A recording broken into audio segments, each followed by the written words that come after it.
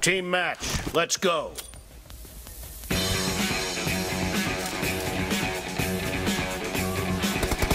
First point for the red team!